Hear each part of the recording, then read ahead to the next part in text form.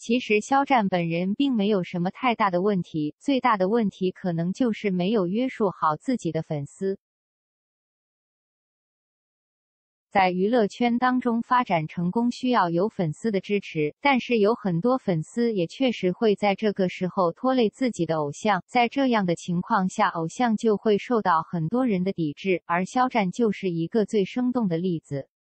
平心而论，其实肖战没有做什么出格的事情，而且也没有发生过太大的错误。但是肖战的粉丝却经常在网络上和其他的人互相掐架，在这样的情况下，肖战自然而然的也就受到了很多人的抵制。很多网友都觉得肖战非常的可惜，但同时也觉得肖战的部分粉丝确实很容易让人觉得生气。关注娱乐圈的网友就会发现，网络上但凡是有关于肖战的消息，都会有很多人在下面讨论，而且多半都是肖战的粉丝在控评。在这样的情况下，大家根本就没有办法看到真实的评论。